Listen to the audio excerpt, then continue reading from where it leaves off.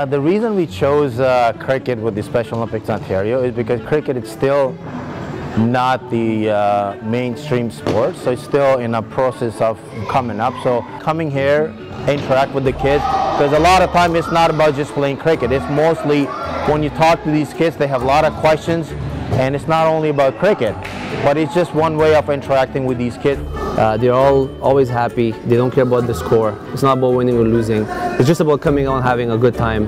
And uh, over the past five, six months, we have built a really strong bond and strong friendship with the guys here.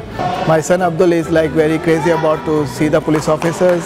Whenever he see a police officer in the mall or somewhere, he just go in there, oh, can I take a picture with you guys? Play, Play cricket? play cricket, Yeah. work the police station. I'm going to work the police station. I'm looking for a job to police station. I think it's great that this community service is offered and it gives the kids a sense of doing something purposeful and it's a, it's active. So I prefer that this as opposed to sitting at the computer all day. Overall, it's been great for the community and great for the athletes.